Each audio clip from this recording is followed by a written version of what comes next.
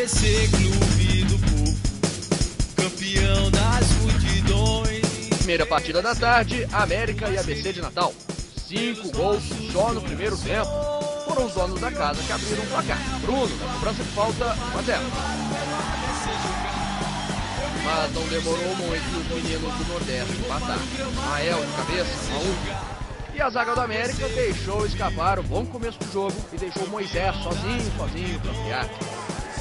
Mais uma falha e Grafite manda na trave e a bola vai para o fundo do gol. 3 a 1. Antes do intervalo, o América diminui com o Juninho. No segundo tempo, bem o Rubro tentou empatar e foi para cima. Mas foi justo em um contra-ataque que o ABC ampliou. Joan, aos 34. Placar final, América 2, ABC de Natal 4.